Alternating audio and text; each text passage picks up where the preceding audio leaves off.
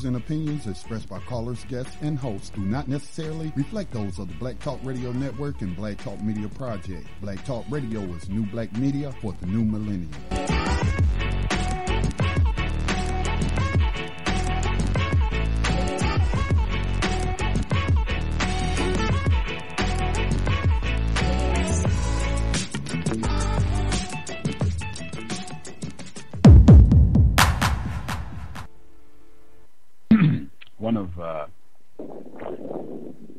Big ways that I see um, our failure to understand that that white supremacy means if you're a non-white person, you you are always behind enemy lines. Um, I think sometimes uh, non-white people uh, we uh, we get to to where we want to just talk real loud, act like we have that army stashed away somewhere that's going to come out and protect us.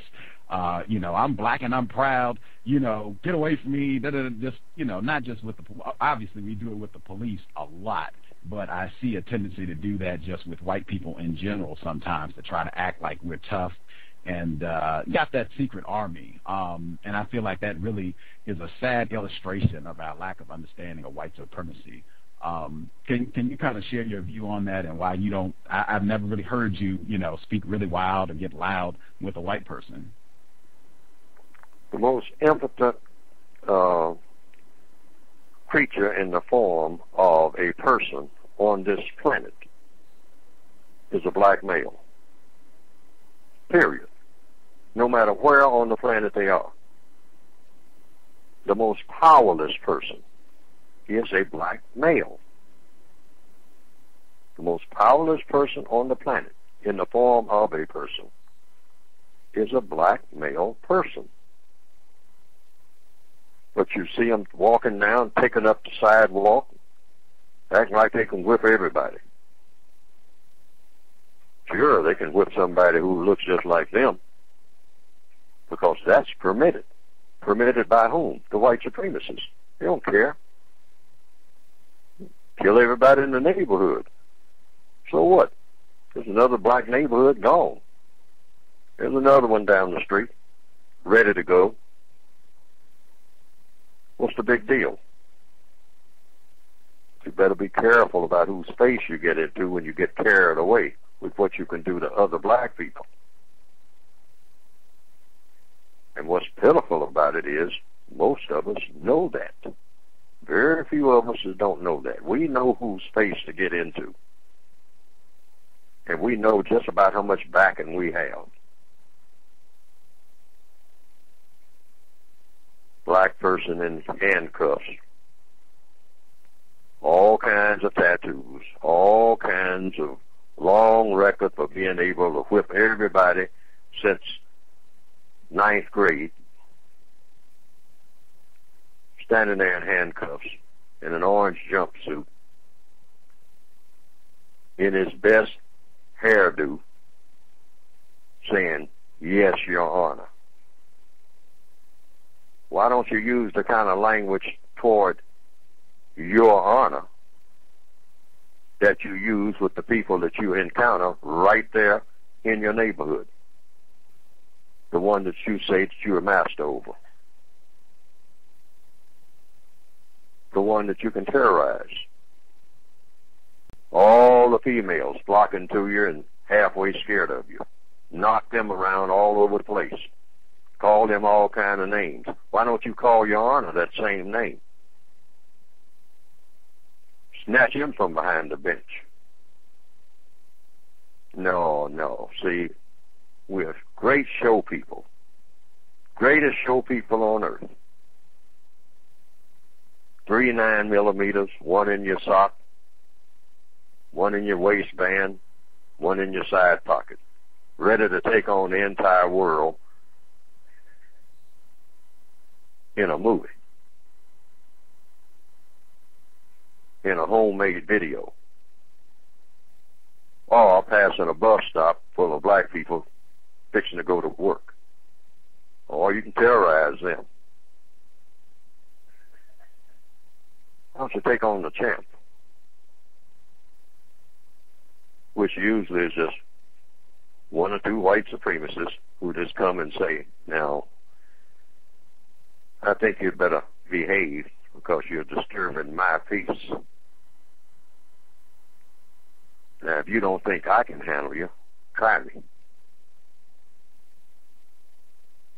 And I haven't been on this planet forever, but I've never seen a situation on a large scale, or never heard of one on a large scale, of any significance throughout the history of the black male, because that's who I'm talking about, who didn't chicken out in a moment of real crisis. So I don't want to hear it in this stalwart Black History Month about that all-powerful black male. Because I've seen our record, particularly in the last, I'll say, just in this area of the world, 60 years. And we've had a few who did things the way that they ought to be done. They protested in the street. They carried signs. They talked about non-justice. Martin Luther King, people like that. Fannie Lou Hamer, Hamer uh, as a black female, uh, backing up black males who uh, got out there and tried to do something that made sense rather than just terrorize the neighbors. And uh, that's doing what we're supposed to do from the weak position that we have. Only time we show all this bravery is when we are mistreating other victims of racism.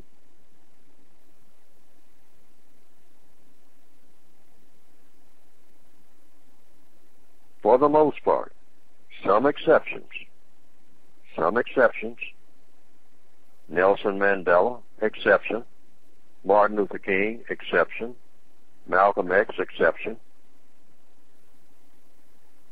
A substantial list, but well spaced. Well spaced.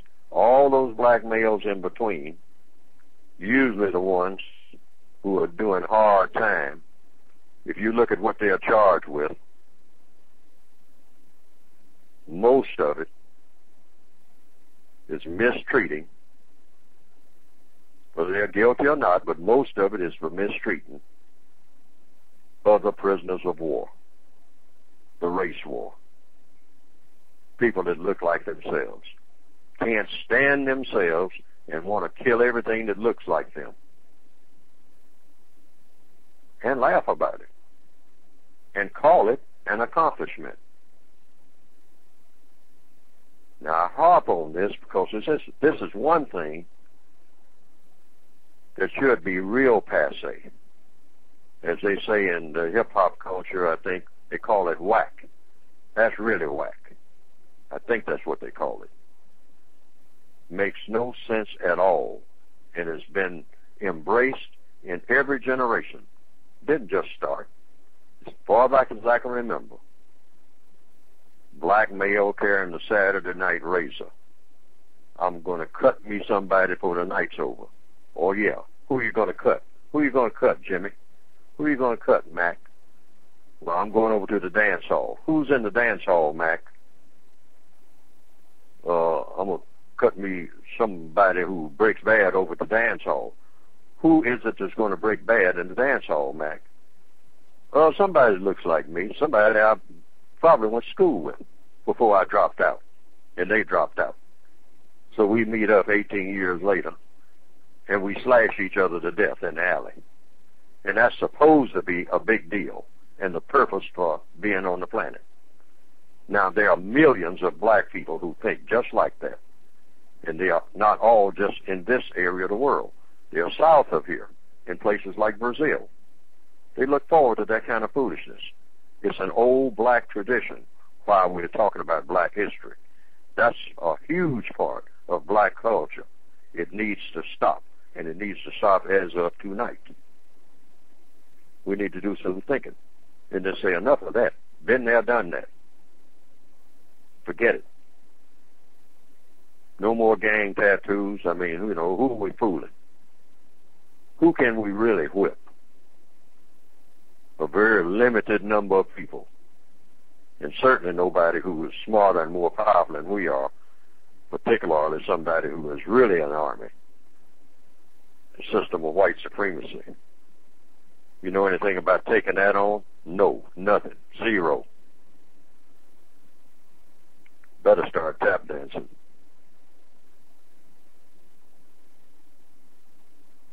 Oh, wow. Wow. Um, again, I guess uh, a privilege, Mr. Neely Fuller Jr. Um, I, I, wanted to, to highlight something that you said there. Um, you said the, the most impotent figure in the system of white supremacy is the black male. And actually, this was uh, back of the bus. Uh, he said that you did not say non-white males. You made a distinction and said specifically black males. Uh, you don't feel like just non non-white males in general are in non-white males in general, and the darker they are, the ones who carry the label of black. Sometimes they're not dark ones. I mean, some of them are very light. Some of them look like they're white, but they carry the label of what we call black black. If you just want a double whammy. Anytime you get that category, and you're talking about a black male, do uh, you're talking about somebody who big bulging muscles, lots of tattoos, heavy voice. I mean, shake the walls with the way that they talk. You would think that they would know everything with the way that we talk and swagger. And like I gave the illustration before, mm-hmm. walk down the sidewalk, taking up the whole sidewalk, want everybody to move out until they meet somebody maybe about a hundred pounds lighter than them, much smaller than them, but the person is white. Now all of a sudden you know how to act. That's why I say it's an act. Because you pick your place. You wait till you get somewhere close to the hood, and then all of a sudden you become powerful. Why aren't you powerful everywhere you go? Some black males never even dare step outside of what they call their turf. And when they do, when they're forced to for some reason, all of a sudden they become very sane, very cautious about how they go about doing things. It's miraculous. They become a whole nother person. Which means that the black male in the northwestern hemisphere in particular, the ones that I observe mostly, and the one of which I am one of, and been among most of my days, we know how to conduct ourselves under certain circumstances. Magically. We may not know exactly what to say, so we keep our mouths shut. We know when to do that and what environment to do it in.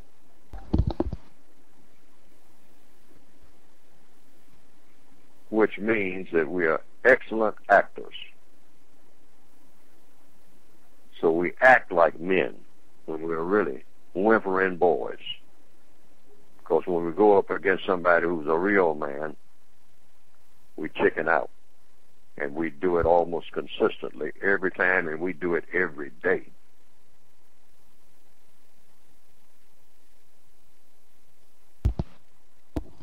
Strong black right. male doesn't exist.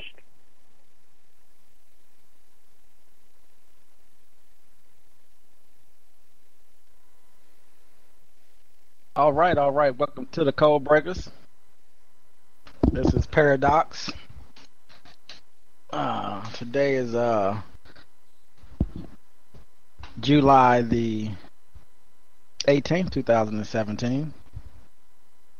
I got T, and I also have uh, DC here. and we're going to be having uh, we're going to be discussing a few things. The title of the program today is going to be "What Are You Willing to Give Up for Justice?" Uh, the qu- quick description is going to be black sacrifice to maintain America, power through race and class, justice or exploitation, Western universities teaching supremacy, black entertainers' impact on common life, China, Russia, and the Asian effect, the indigenous revolt, the possibilities. So we may touch on a couple of these things. We we, we will see as we uh as we go uh through some of this tonight. Uh fellas, are you there?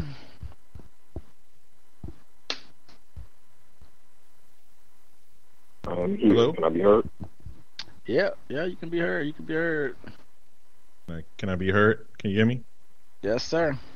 Okay. That sounds kind of weird, but Can you who sounds off me or you or what? oh, it's me. I, I sound better now. Okay. Yeah, you I'm not too loud. I'm, okay. All right. Cool. Cool. Cool.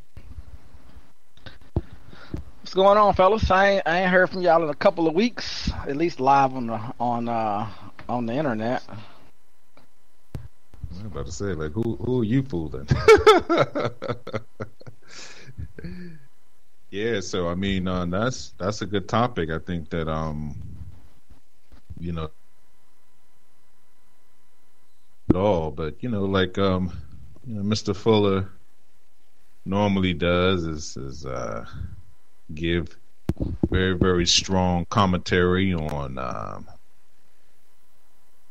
manhood, blackness, and all that. And I know that um, it's very difficult for um, victims of, of white supremacy to to hear his um, commentary. I think that a lot of times uh, the way he see it, you know, is totally, you know, totally different than just you know a lot of different people, and maybe um, we hope that that um his message is not being lost upon people but um you know just just accept the message and just i guess just accept it as you as you can and just whatever you can take from it take from it if if not then you know No, I think it speaks for itself, so there's no apologies for him. He said what he said, and we keep it moving.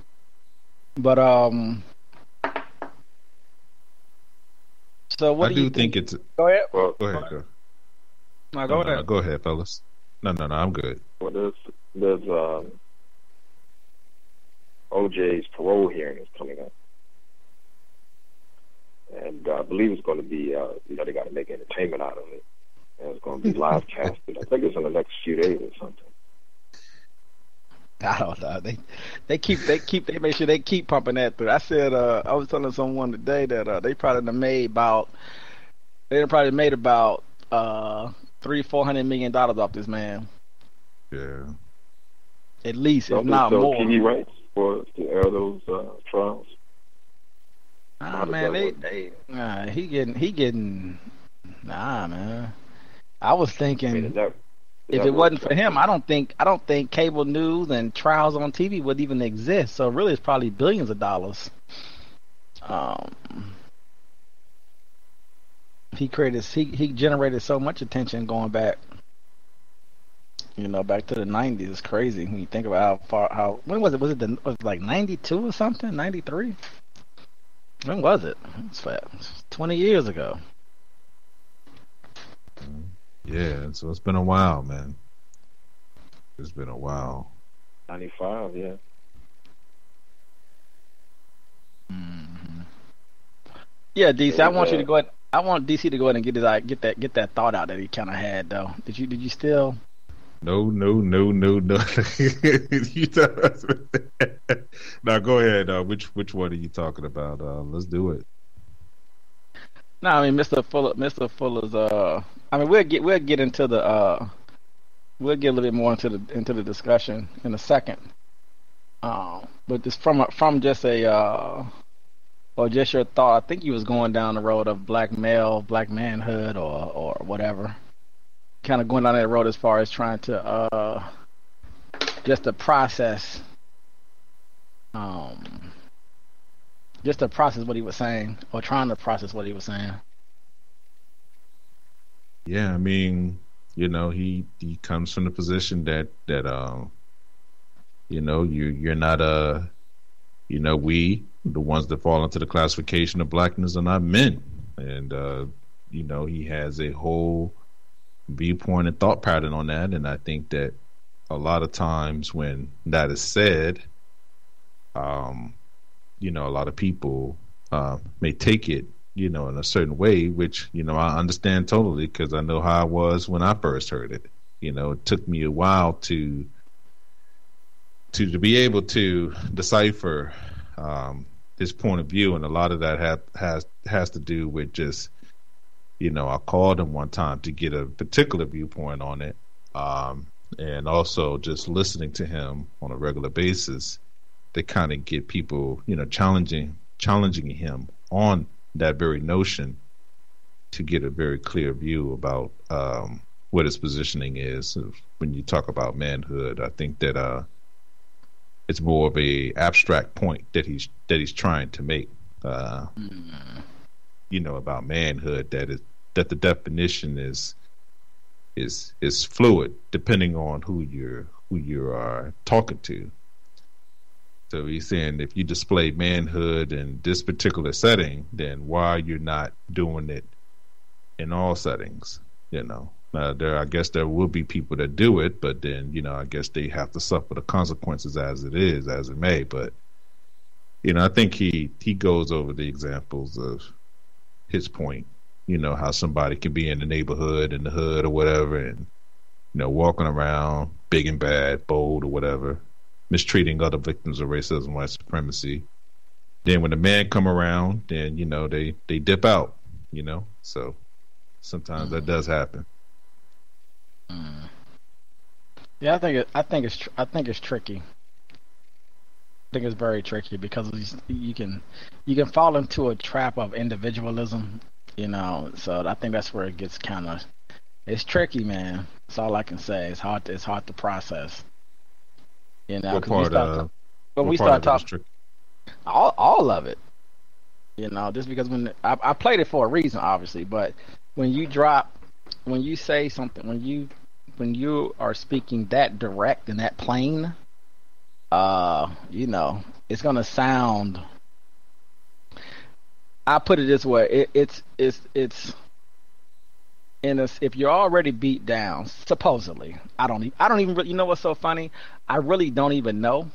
Just because what I'm about to say really doesn't necessarily make sense, you know. But in a sense, you know, you feel like you maybe you feel I would argue and say you're already beat down. So if you're already beat down, you know, why add to it? Or I was thinking maybe you know, it's not like people and it's not like civilians have you know necessarily um, can go and you know form a military. I guess they could sort of or militia or something, but it's playing with words, I guess. But um, can't necessarily like it's a weird conversation in a sense from a power standpoint. I think so. If you're already in a society and you're a civilian and your job is pretty much to go to work or hang out and things are already in place, then you say that it's unusual in a sense that in a sense that I can't go necessarily go make a phone call or go somewhere else and go and, and hire, you know, an army or whatever to deal with a particular situation. I mean, I was thinking like just just thinking different things about how does it sound, you know, to people when you're hearing it. Not even to people, just to myself, in the sense that, um, you know, are you trying to break me down?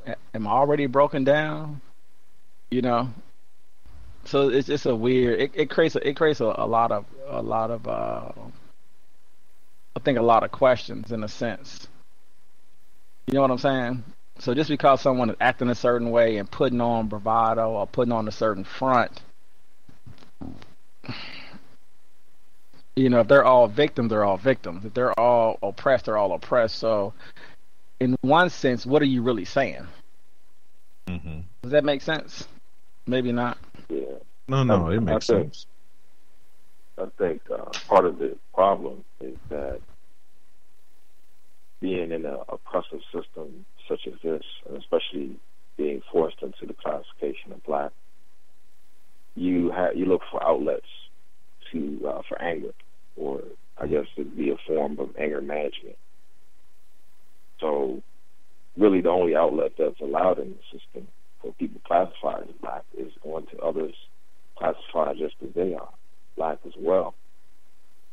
I think I think at the essence, at the root, that's what that's what he's talking about. I mean, because he, you know, really fully, he, but the fuller he alludes to the fact that um, we are in this oppressive system, and so he's just saying that that is the that is the outlet for the anger, and it, especially when you don't have a deeper understanding of how the system works, and you're just looking at symptoms. You know, I can't can't find employment. Uh, I've been locked up. Um, you know, I'm uh, pregnant at a young age. Um, people on strung on drugs. Just a slew, you know, child abuse. Just a bevy of issues that have been piled upon us, and without having a deeper understanding of, uh, and this goes to mental illness which we, we touched on as well. Um, I, I'll let you get in on that thought. But the fact that we have issues that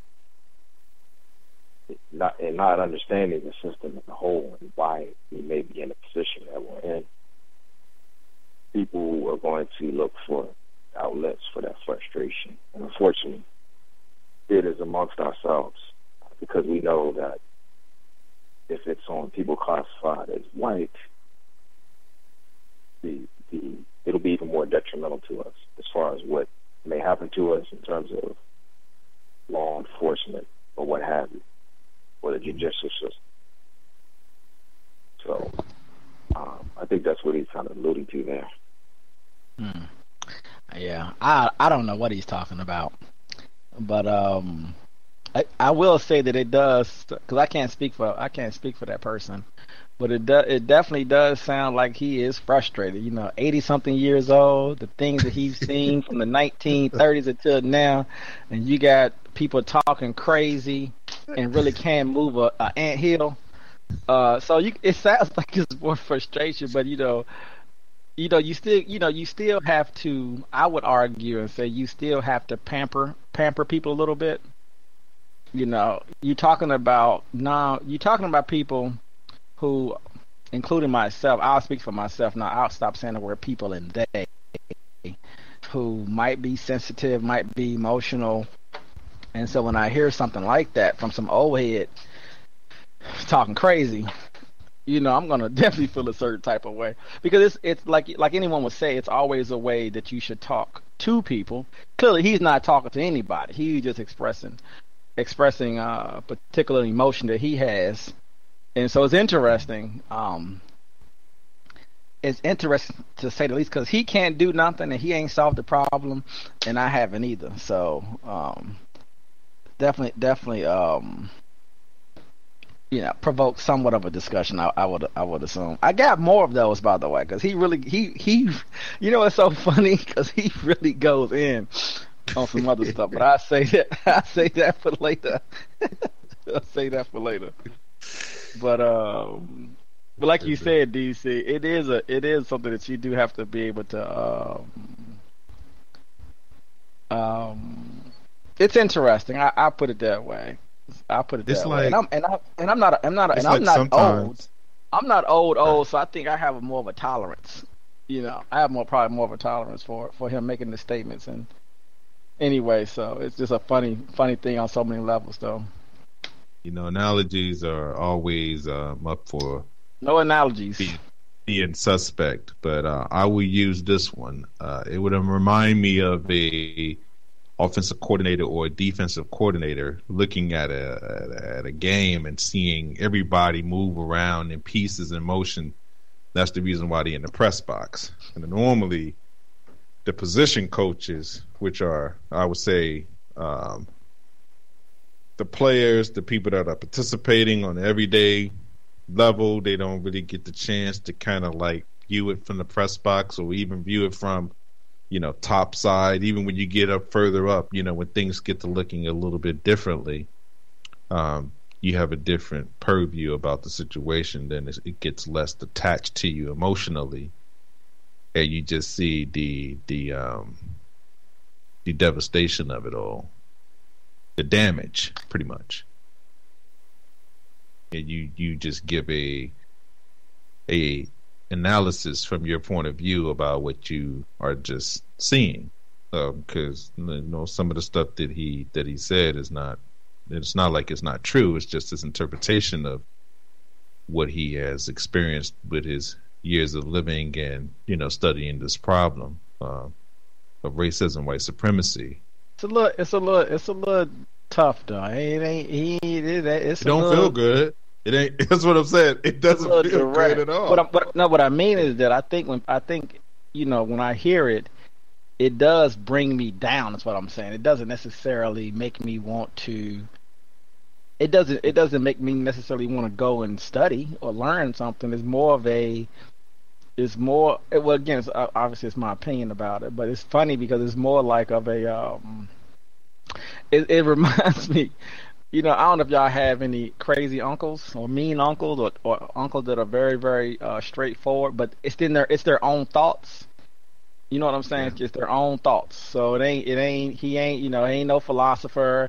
He didn't go to he didn't go to these Yales where it, it you know if someone said they went to Yale or Texas A&M, then what they say must be okay, right? So he didn't go to none like that. He's just thinking about things, you know, average person. No one knows who he is. Not trying to be nothing. Not trying to know nothing. Not trying to come up with phrases like Pan Africanism. Like he's none of that stuff, right? Just a crazy, just a relative of yours, and like he's telling you, like, what you gonna do? What you gonna do? Like that type of thing. It's like you ain't gonna do nothing. So, so it's funny. It's funny when I hear it. It's funny in that way but like in a more serious, in like in a more serious way, I think, you know, someone I would tell people to call call into his show just to ask him because he will give you an answer. But you know, it's it's uh try, trying to make it trying to transfer that energy that he's putting out into something else. I'm not sure. I'm not sure what that does. Uh, you know what I'm saying? Like I'm not really, I'm not totally clear about what that what that does for somebody because of how it because of how it sounds. Because to tell, to say what he said, I don't know what you need to know to make that make sense. Is what I'm trying to tell you. Like, how much information do you need to understand for what he said makes sense and not take it personal, or not feel like that it's a it's a um, it's an attack or a threat against whatever you try whatever you personally or whatever your organization is is trying to do but using the information, using the using the energy or his thought to to try to crack open another idea in your mind, like to try to get you to look at it in in another way, or does your does the paranoid gene kick in, and you're like, man, he might be he might be a fed or something. Like, what is he talking about? But anyway, just a lot of different thoughts you know, a lot of different thoughts. You really never know how anybody really feels about people. So it's always, a, and maybe feelings don't even matter at the end of the day. You know what I'm saying? It's always weird because the way you, we talk about levels. Well, I don't. I talk about levels a lot. So it's always funny that when I what I just said may be important at the on the field level, like you were just saying, but in the press box, to use your analogy, which I hate using by the way, but I'm gonna go with it. In the press box, you're not looking at emotions. you know what I'm saying? You print out some film, you look at this, you know what I'm saying? All right, the sky don't lie, man. I can't worry about what, what y'all say. doing down there. This is what you need to do. So it's a, it's a. I would say it's, it, it's. I would say in the position that people that that I'm in, I'm. I couldn't say if it's helpful or not I don't know. I had to think about it more. I mean, I've I've been hearing it for years, obviously, but every time I every time I think about it, I just kind of like ah, you know, is it really pushing me, you know, to new thought? Is it affecting me any kind of way? Is it making me less effective? And then, of course, I start asking myself, what does that even mean? Obviously, but but anyway, not to uh, beat that horse too much. did y'all did y'all have any more um any more thoughts? With the with the brother. Um, for the I'll just give a background on it. There's a guy. I don't know if he's still active, but it was a guy named Phoenix Jones that was an alias out in uh, Seattle who donned a superhero's outfit and would go out with four, four or five times a night and break up fights and not classified as black, break up fights and you know help people who were injured. I guess uh, over intoxicated or whatever the case may be. Was that real? I didn't mean to interrupt. Is that actually real? Yes. Was he really doing? Wow. I thought Uh, that was, was just. I thought that was the whole act. I thought that was an act. I did yeah, not. Phoenix did Jones. think He actually, uh, he was actually, cause he actually got.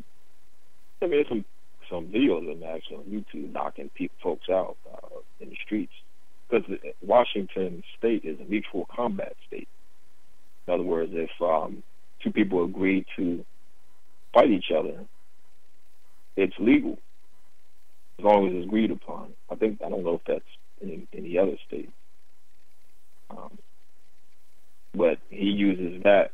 I guess he uses that somehow to his advantage. But he got brought up on charges, I think, a couple years ago for pepper spraying some folks. The police claimed that he um, pepper sprayed some white folks ostensibly that were dancing and weren't causing any harm. But he, the charges got dropped. But I, I just, uh, I just want to throw that out there to you guys because I mean, he this guy is suited up. He look he almost has a costume. It looks like Wolverine, like gold and black costume. Mhm. Um, it just makes me wonder how that type of thing is.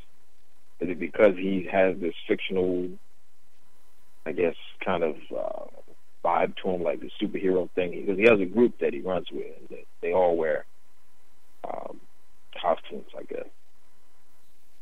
But uh, he's granted. Apparently, the uh, the police in Seattle say they don't condone it or agree with it, but I guess they grant him a certain amount of uh, leeway. And you know, Seattle is. I don't, I don't know what's the demographic there. It's probably mostly mostly white. So he's probably that's probably the people, the patrons and club goers, probably who he's mostly uh, interacting with on a nightly basis. I just I just throw that out to you to you guys, but uh, I mean, because I mean it does look it does look unreal, right? Yeah, it didn't look real to me, so I thought it was just him videotaping himself, kind of trying to sell himself to Hollywood to become a stuntman, because that's what it looked like. But wow, that was actually real. It's very Yeah, he used to be interesting. like I a- think people should check it out. Yeah. Yeah, yeah, that's definitely something to check out. Wow, it's very interesting. Because I, I heard him even talking about you know how he grew up in you know inner city neighborhood and he just wanted to do something, you know, um, which is understandable. Like I said, like a lot of things, uh, people want to to do to do things, you know, to do movements, um, and not to sit still and just remain, you know, stagnant. I mean, it's we're we're we are.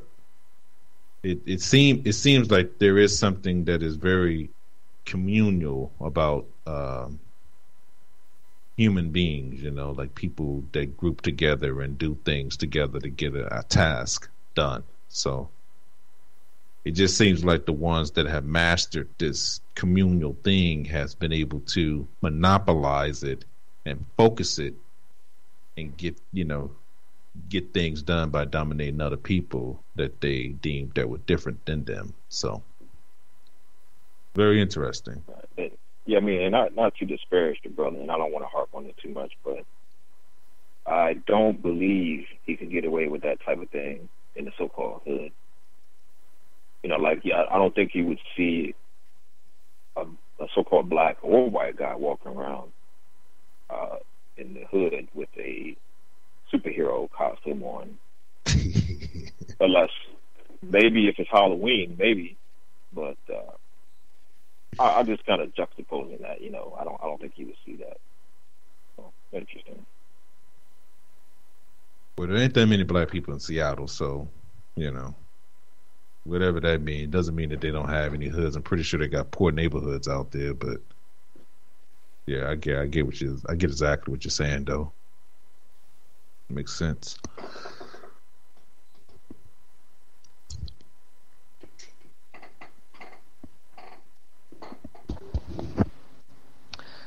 So what are you what are you guys thinking on uh on some of the topics that we got?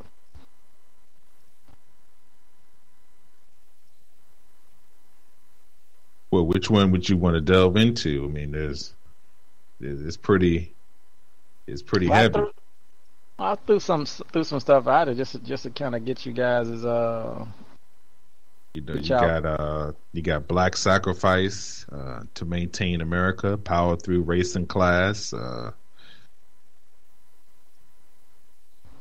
justice or exploitation. What do you What do you guys uh, want to delve into? I'm pretty sure we probably won't be able to get into all of it, but no, Yeah. God, no, definitely not.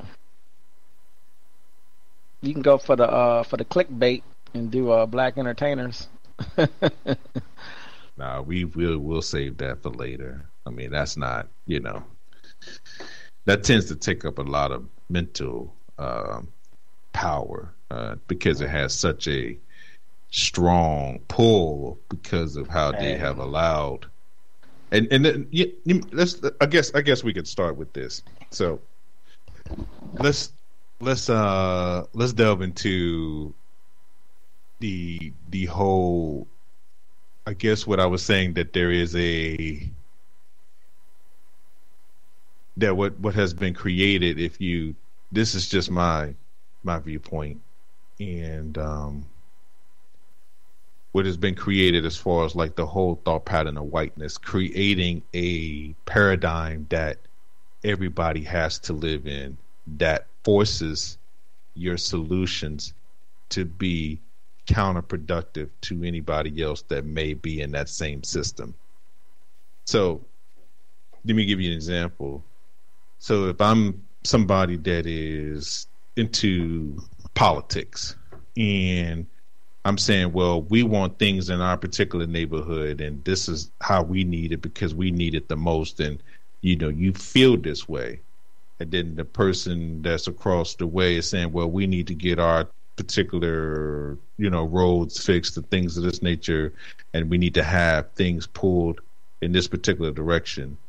There seems to be a grievance that is that is broken down by racial guidelines because the country is still even though they call it integration they have still separated groups of people or large groups of people and put them in certain silos or neighborhoods where or communities where there are majority this.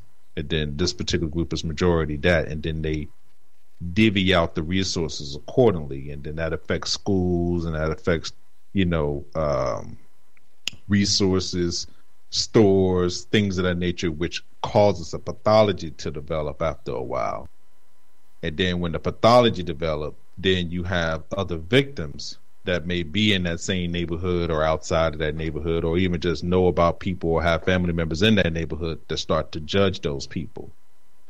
So it start to be like well when did your personal responsibility take over? When are you going to learn to deal with your situation you see what i'm saying like so forget about jim crow forget about what slavery has done the more physical part of slavery um, and then forget about the the prison industrial complex, which is also a form of slavery. Forget about all the laws that was passed during um, segregation and integration, um, basically forcing people into neighborhoods and then forcing people to deal with certain conditions by law.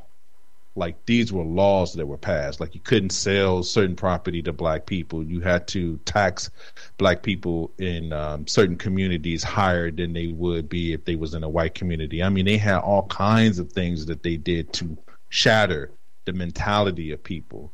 And then how do you couple that with raising children and trying to give them the proper perspective on how to, you know, continue in a peaceful, so-called peaceful environment on doing things the so-called right way. That it creates this whole, like I, I don't know what else to call it, but neurosis. That people are mentally ill. We grew up in a community where people are not being able to be their, their truest self because they're not able to manifest their destiny fully. There is something that's in the way. But then you have other people say, "Well, no, there ain't nothing in your way. You're just be you just basically you're just basically being selfish. You're being lazy. So people don't even know how to decipher on what they can and cannot do. That's how bad it's gotten. So even if there is something that you can do, there may be some people that just be like, "Nah, you know what? I'm good with that. I'm not even trying because I don't want to be disappointed." And then you have people that do try and then they get some successes and then they get some failures but then they be mad at the other people that are not trying because they feel like those people are holding them back because black people as a whole are collective. You see what i'm saying? Like this whole dichotomy this push and pull between our, our group that's forced together. And then don't even get me going with other identities within our group the lgbt communities the the the, the women's movement the the the the immigrants, the black immigrants, where you got some black people that are native born to this particular country that get mad at Africans that come over here to benefit from racism and white supremacy. Like we really can do something about it. Like that would just be incredible to me to just see black victims walk on Capitol Hill and say, No more African immigrants in this country. They're not black like me. Like that can literally happen just think about the damage, you know, the mental damage that we have actually experienced as a forced group together because we don't share a lot of commonalities even within this country. And then to be forced to share to share the classification with people that wasn't raised here that wasn't that don't share the slave narrative it just keeps this constant conflict. And then you got people that are here they they gather all these different identities you know, I'm I'm LGBT, I'm a black woman first, or I'm I'm a I'm a black man, or I'm a black male. I believe in MGTOW. You know, this this you know, black men going their own way. It's it's, it's a lot, man. And you know, I'm you know, I'm like, you know, at the end of the day, is it is it viable to even think about this problem in the way that we think about it anymore. Like even if you're just thinking about just just black people, is it even viable to think about it anymore? Because it seems to be that people have accepted the system to a certain degree. Uh, whether they are, are are reluctantly going along with it or whether they're just all in with it, but there is a there is an acceptance of how things are done now. Uh, that the viewpoint of trying to go the justice route is not doable. And the way you can tell is that people are trying to reform this type of system. So they rather reform the injustice of this system instead of just to replace it with a better system. And we don't even have to call it justice, but just to replace it with something better to start over new because the way this was built was built on mistreatment in mistreatment of a group of people in particular and the genocide of another group of people in particular. So that's that's that's that's the that's the thing that never gets past this particular country. It's the reason why when you build this whole system on race the reason why race can never be forgotten forgotten. Um, the reason why it's always coming up in movies coming up in news coming up in police, you know, interactions is because the way they have formulated race as an actual construct, as something that's real, and people are manifesting it out, it just it just keeps bleeding out, and then nobody has real, real cut solutions to the system, and that we just all just play along, and we stuck into this like this hamster wheel. It seems like because it's like you know, of course, when you look at the numbers, uh, black people are, you know, being mistreated the most. Let's just put it that way, and that the numbers clearly bear that out, and that this is this was done on purpose. It wasn't something that was happenstance. Oh, it was because you didn't have education. Oh, no, this was something that you was personally attacked, not personally, but you know, you were systematically attacked and that now you have all these different ideologies that have developed because people have been able to try to survive because that's what we've been left with. So it's almost like I can't even blame victims of racism that have a completely different view than I do because that's their reaction to the system. And me being mad at them because of their reaction to the system doesn't do any anything to, to alleviate or change the way that we're viewed in the system. It doesn't change the fact that I'm still classified as black like that person is. it doesn't change it. So I could be mad at them. I could say you a coon. I could say you you're this. I could do all the name calling. I could say you're not really a black person, but at the end of the day, we're still forced into the same classification. And I think that the beginning point of trying to really, really solve this problem is to go beyond hope at this point.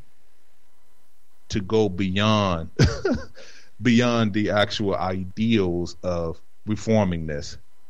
Because if you go through all the detail, you you will start to see that this system is based off mistreatment. So if you just took over, this is black people that I'm speaking about in this very clear instance.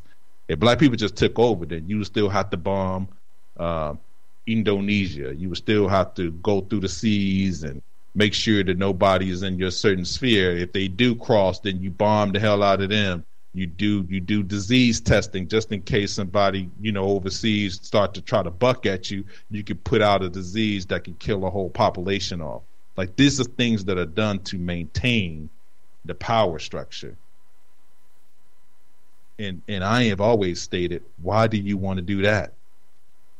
Like there got to be a different way. Well, there ain't no different way. Then what is this all what is all this talk for? What are we talking about? Either we trying to end the system of racism, white supremacy, or we're not trying to end the system of racism, white supremacy. That's what I'm on. Believe in God, though. See, that's where I come with that.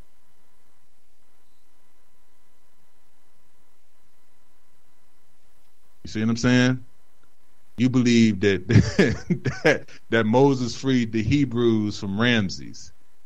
You know. There wasn't no reforming Egypt at that time. They had to go somewhere else. Am I, am I correct, fellas? Y'all guys know your Bible. I know y'all y'all ex Christians or, or still Christians, still digging into your Bible every once in a while.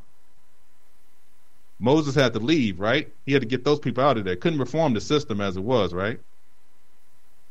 Is that is that is that not accurate, or am I wrong on that? That they had to go to a whole new land and set up set up shop differently? Is that what is that what happened? Can I be heard? He did bring a he did bring a new law. Yeah, that's what I'm saying. New laws in place, new ways of doing things. Ways of the old way or whatever. I'm saying that clearly, clearly you know, justice, trying to bring justice, something outside of yourself, something to, something to govern your activities outside of oneself, outside of one's urges to try to rule and dominate other groups of people. Or at least that's what it comes out to be. But of course, we know that um, you know, that's all allegory. But the point is is that when there's two conflicting sides and there or there's a group that's been that's been so mistreated, right? Like the Hebrews at that point, the slaves, the black people. There was so much mistreatment at that point that there was no way that they could reconcile in the same space. And to me, that's that's what we're dealing with. Like, there's no way to make it up. And if even if it was, white people are not going to give it to you. Like, why would they do that? And when I say my, white people, I mean even the ones that don't make the decisions to the ones that do make the decisions. That's not logical to do. You know, oh, you have talked so much, or you have convinced me so much, or you have slept with me so much that, I, hey, you know what? Hey, it's it's good, it's good. We need to go ahead and make do right by you, black folks, without lifting up a weapon to fight these people? because the history shows me that these people love to fight. They love to kill. Am I am I making sense, or am, am I kind of ranting, or is it not? Is it not connecting? Uh, you you making sense to me. So what do you guys what do you guys think about that though? About because because when the, the the title to me says it all. What are we willing to give up for justice? Because justice is hard, man. That is not easy. No matter what your definition of it is, it's hard. If this country can't live to its constitution, literally cannot live to its constitution, and they call that justice, you can imagine how hard it's going to be to come out of that when you the oppressed group, when you have been basically mentally damaged by this other group.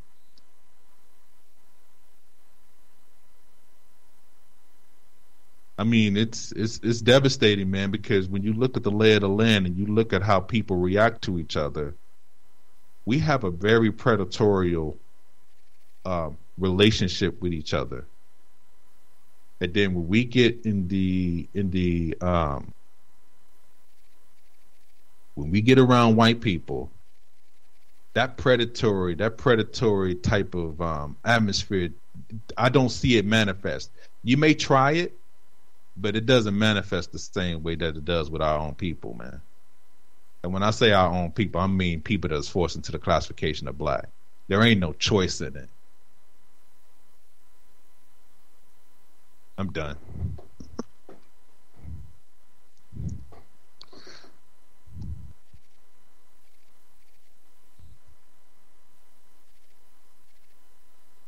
Did you guys have any comments on that, or you want to get into the break, or you know, come back?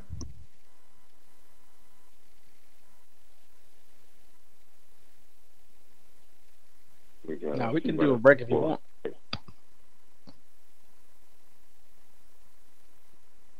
Go ahead. What were you saying, T? I was saying that we had a few minutes before break.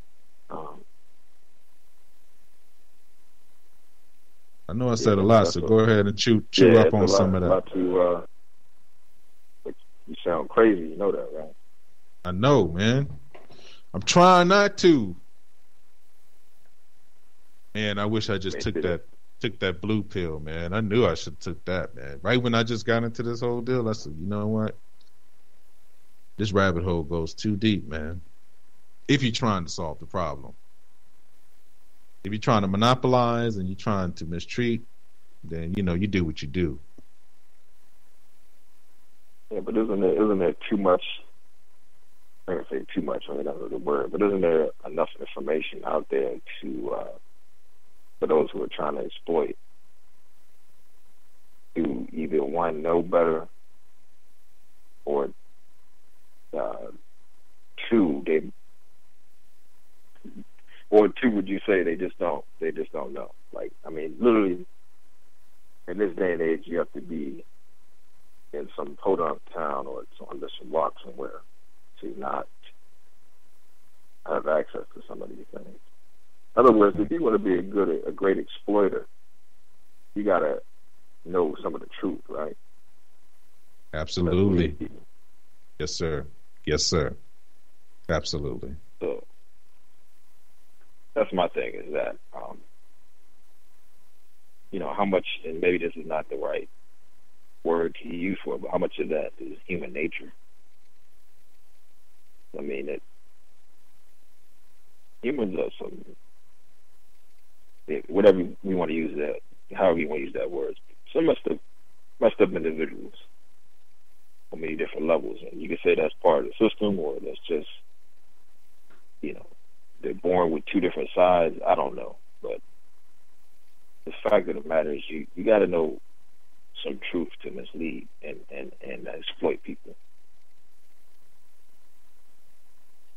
But wouldn't that wouldn't that tell you everything that you need to know and how devastating this system is if you have a group of people that's been able to monopolize the fact that they know that human beings are collective, that we move like this, and that your that your mentality is grouped together? Like that is like a herd type of mentality for the most part? That that's what that is and that you force this group to be together even though they're not really together you can see it. You can just see people just being mad. You stay steadily angry. But you don't know you don't know why that you're just feeling this way and that they give you definitions for who you are you know? And it just it just seemed to have this more just devastating effect on groups of people that are trying to self-define themselves even within the system so it becomes very very very difficult to try to say well you know this is the solution. No, no, no. Your solution is nonsense. No, this is the solution. No, no, no, no, no. That ain't the solution. This is the solution. So you got about 500 people. I would say 500 people that got good ideas, but you need cooperation, right? You need help doing things because we we are a group of people that that collectively you have to have a group that that falls in line and you know feels what you have to say. Like for instance, if your if your message fall on deaf ears and people don't agree with what you're saying, then people tune you out. Then nobody hears. It's like hearing a tree in the forest that nobody's around. Doesn't mean that that tree didn't fall. Just nobody heard it.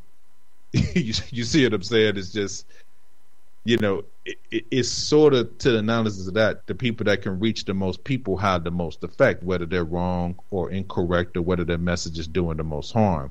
But collectively, we feed into that.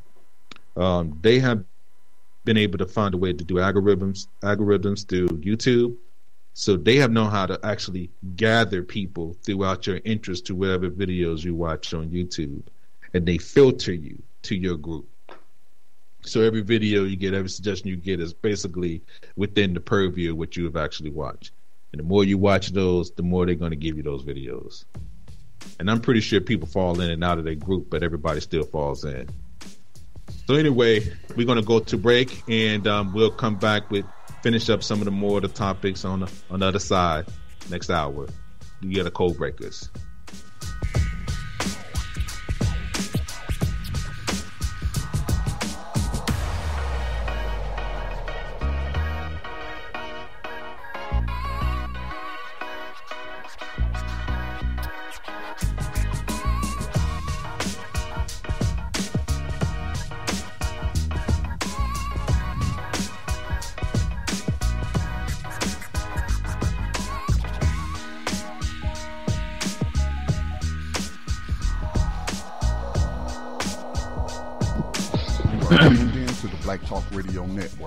Podcasts and live program scheduling, visit us on the web at blacktalkradionetwork.com.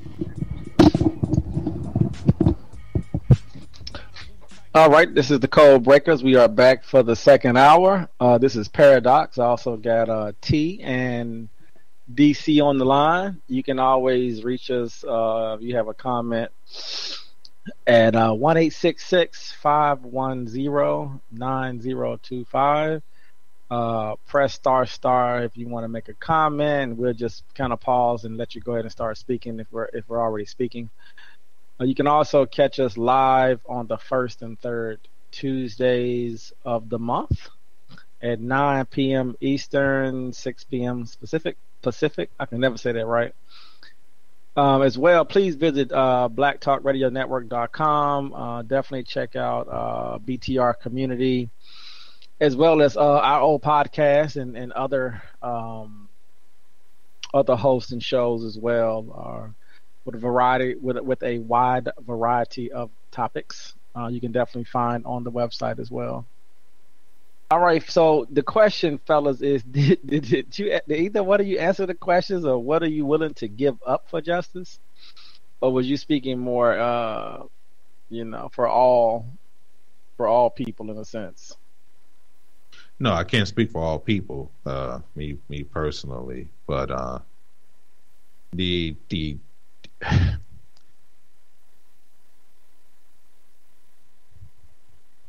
that question is so is so hard hitting as far as like what you're willing to give up for justice. I think that um that what it does is just kind of give you a way of just kind of going through your thoughts to kind of test your thoughts and your ideals of is it really okay to really continue to act like um, this system that we're living in right now is just, you know, I'm okay with the way things are. Like, is there something really, really wrong? And am I willing to to to give up uh, a more comfortable position in the system to begin to begin the process of eliminating or even thinking about eliminating this system even though a lot of people don't really believe that that's a reality. But do i do i do i give my energy to doing that or do i give my energy to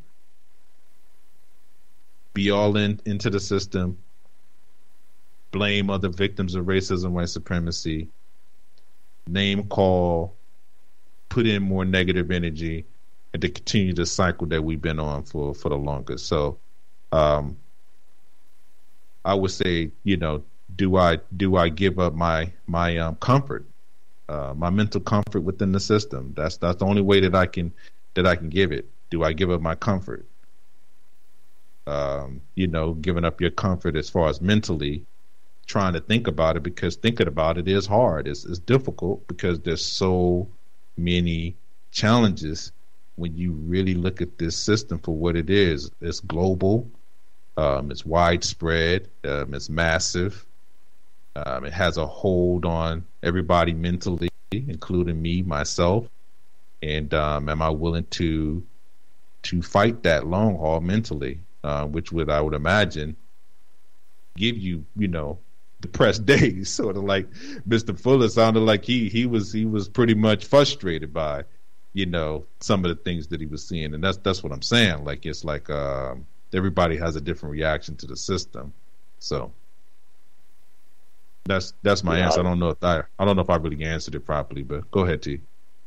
You know, it's interesting is that until I uh, heard DC's explanation, I thought that that question was was predatory because it was almost like to me saying there's like a carrot on a stick. Like if you want justice, then you have to be willing to give up something to get it. Uh, instead of it being a thing of you you should be born into a system of justice, not not a uh, bartering type system. But what DC was saying about the fact that giving up mental comfort, in other words, the the different, and this may get into the Western University uh, teaching white supremacy conversation, but willing to, you know, your your cup overflow with with ignorance. So being willing to re-examine a lot of the indoctrination that we've been fed and taught for years. Uh, chief among them being the follow the leader archetype, which to me I think comes out of the religious dogma. You know, whether you look into whatever, I'm not going to name particular deities or, or personages, but you get the idea you know, look into certain these certain uh, people or spirits for guidance. So I think that is what creates the the group think to a degree, instead of people making up their own minds about about things. Nothing wrong with obviously listening to others and you know gaining insight based upon their experiences, but constantly following a group way of thinking, it can be detrimental. When you're dealing with people who run this type of system, they've obviously studied uh, certain behaviors that are typical amongst so-called humans, and they've exploited them. But that that that's uh, that's what came to mind when once DC kind of started talking about giving them certain comforts, especially as it relates to the mental traps that we have that have been placed in our minds to contain us within certain patterns of thinking and is reinforced by media, entertainment, I mean, a number of things. So, yeah, that was, uh, so I appreciated that.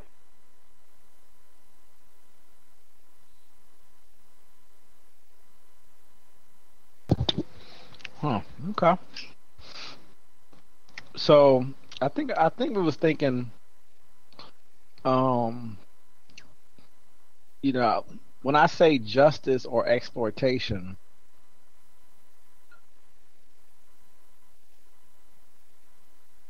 you know, it feel it feels like, I maybe not feels like. I guess it is, in a sense.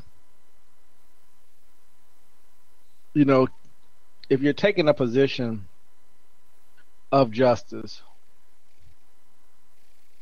how do you? uh, This is this really this probably I guess for either one of you guys, but if you're taking a position for justice, how is, is there a way to kind of deal with trying to, uh, I guess, minimize the exploitation part of your life? or you either you're exploiting yourself or or you being exploited. Does that make does that make does that question make sense? Break that down a little bit. Just that you know, if you're fighting for justice or if you're trying to move yourself into that space, you know, maybe trying to you know ch- trying to change things in different ways or trying to change one's mind or just trying to uh, get a better understanding of what this is and what's going on versus um, being consumed through exploitation. Like, um, you know, maybe maybe you know, uh, job employment, um, being caught up in you know, uh, buying lots of goods and services, you know, putting on fronts, um, you know, trying to be something that you're really not, you know, bravado, whatever, you know, you know, nice cars or not even that, but just, just, you know, I look at I look at the environment from a, you know, from, from a day to day perspective of, I don't want to say, you know, I'm pimping myself in a sense, but you know, like you know that you, you know that you're being taken advantage of. You know exploitation is happening. Either you may be mistreating a female, family member. Um, you might be um, the way you're being used at your job, or at your, you know, if, or or if you have a business, if you're using people in your business, just being consumed. I think by by the system or this system in a sense that it seems like the way this place is set up it feeds on exploitation. Like you have to be like I you know how if you try to like stand up for something like if you go to your if you go to your job now and you and you take a hard position they'll basically just get rid of you. And for example uh, this is going to be a bad example by the way but for the on the black entertainment thing I want to mention to tie it into kind of tie it into exploitation is you take a person like Colin Kaepernick, right? Which I don't want to harp on too much, but you know, somebody came to me and said, you know, did you hear what um I won't even say the player's name, but did you hear what this, what, the, what a particular uh, ex player said about Colin? And I was like, no. So they told me what they said, and then they this is a black male. Then they said they agreed with it. You and of course, I had the to name. I had have to to wait. say the name of the victim, man. You have to. For context, man. So It's okay. You already dropped Colin Ka- Colin Kaepernick. I think people know who you're talking about, but just in case, you know. Right. So, uh, uh, Mr. Vick, Mr. Michael Vick. So, so uh, I guess a reporter stuck a microphone in his in his face. I don't know the details. Honestly, I don't care. I tried. I, I I've been trying to do a better job at staying off of social media. If I'm, you know, trying to stay away from from YouTube and uh, a lot of things, to be honest. Which even though. Um, just just if, if I'm on no, if I'm on those things, it's for a very particular reason. Put it that way. It's not something I'm going to be perusing and just kind of like you know got to have the phone in my face or have a computer in my face to to look at stuff. Is my point. So typically when I go, I'm trying to get into a into a mode where I'm going for a purpose. I'm looking for something very specific. I'm not just watching trash, trash, you know. But anyway, um, but so when they made the comment, and again, you know, what you notice about people, if you take a position, if you take a position um, that tends to be counter to whatever the television is telling somebody, or whatever a book is telling somebody, or whatever a a news article is telling somebody. It doesn't really matter where it's coming from. It's really to me not their their thought. It's not it's not an original thought, and it's not their thought. It's like this continuous stream of trash. And so they so they was telling me about it, and I said, well, you know, because I think I think in one way it's maybe not that big of a deal you know, in, in one way, I'm probably making it too deep, and when people interact with me, I probably take things too far. But on, you know, I say that because that's how people, that's how people take it. But then on the flip side, it's like it's my duty to make it to make it deep in the sense that you're gonna come and waste thirty, you know, you know, two or three minutes of my life, my time, telling me about trash and then I'm supposed to play along with the conversation, you know, and, and sit there and, and, debate about nonsense. And so I was like, "What you're saying?" You know, I I totally rejected the whole the whole situation. Obviously, uh, you know, he, you know, I don't know none of these people. These people are on television. You know, I mean, who, like, I mean, really, like, it doesn't even really matter at the end of the day, in, on some level. But then, on another level, it really does show how things continue and um, talking about someone's presentation. If you are uh, a black person, and you know, for and for all I know, as a black, you know, whoever you are, and whatever whoever's in your ear, whoever's pulling on you, I don't know what they're telling you or what they're doing to you to get you to say what you're saying. So I don't even know if it's coming from a genuine place. And I know it's not because of the person that I'm talking about. If you look at if you look at this, if you look at Kaepernick's upbringing, where he comes from, etc., clearly he knows what to do uh, to get whatever he wants in, in this environment, as much as his, as much as he can take himself based off of, uh, of what's allowed. And so to have somebody else who is in his same group, um, just talking sideways and strange you know, about what what he should do and what he should do with his hair and all this just stupid. It's just it's almost unbelievable to be honest with you in so many ways. But the person says, "Yeah, I agree with Vick," and I just had to sit there and really we had to had to really spend like thirty minutes kind of breaking down like that's you you. And, and again, this is my opinion. I don't think you're seeing what you think you're seeing. What's my whole point? I think that that you're missing you're you're really missing what's going on. There's something deeper here um, that really points out how race is used, how racism is is used, how you know how people act in this environment.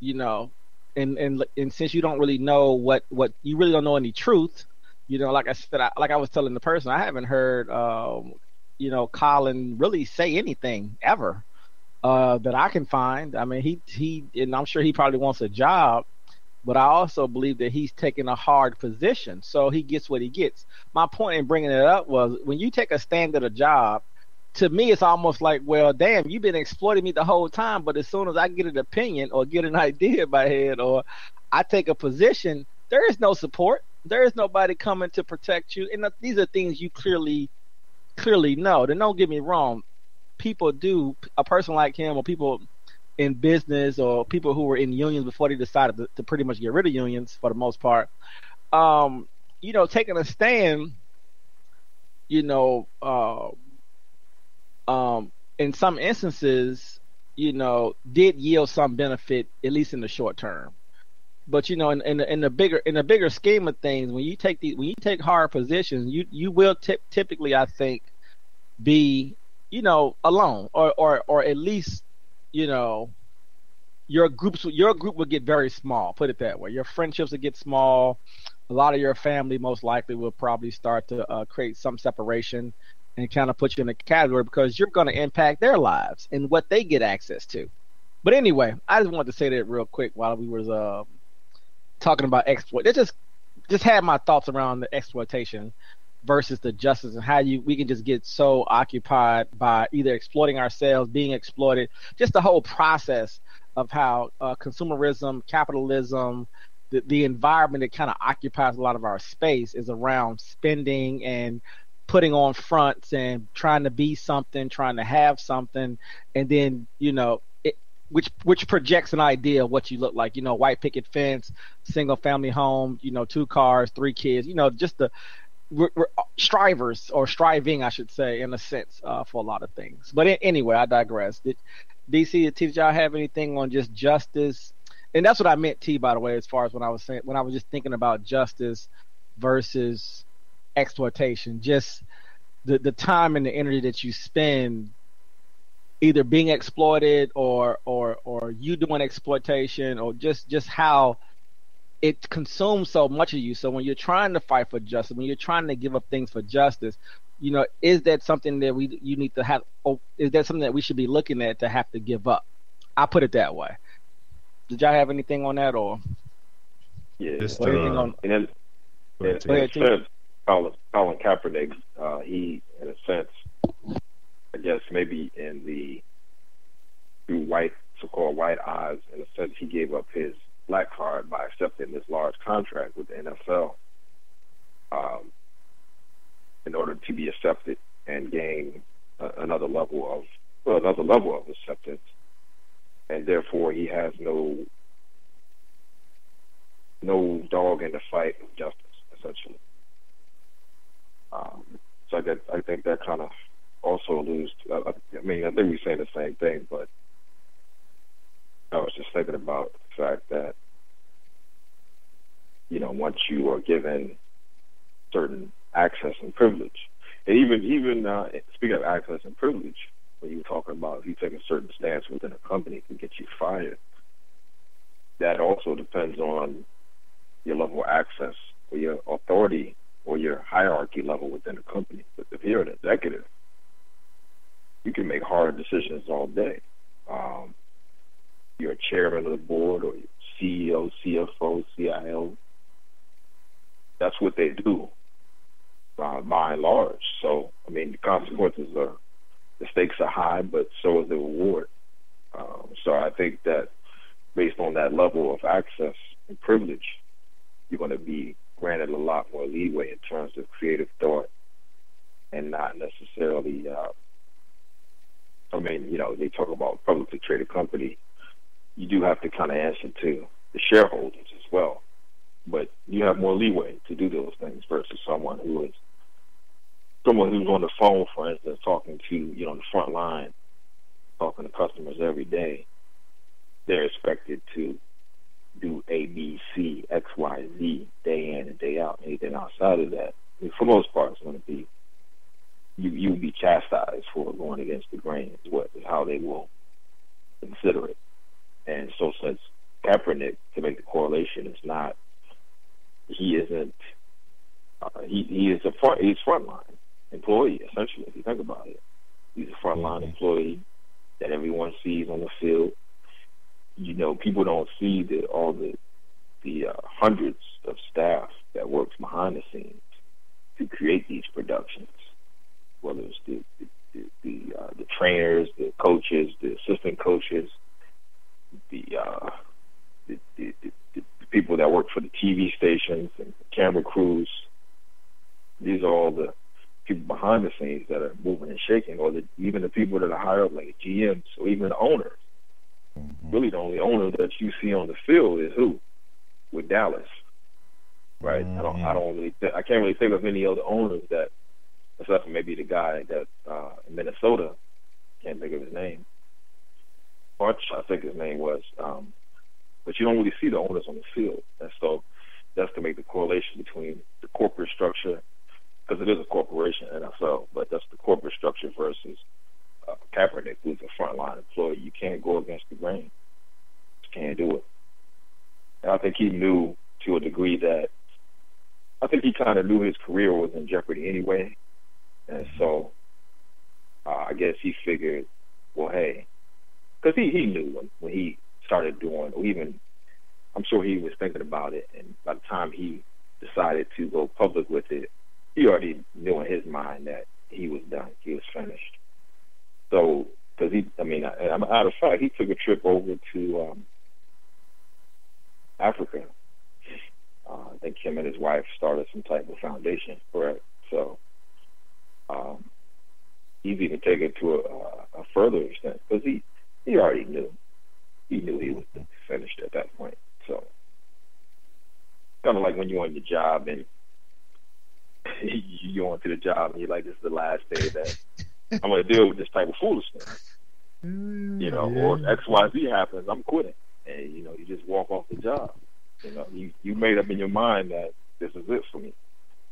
And I'm gonna tell you what makes it what makes it so powerful on, on on one end.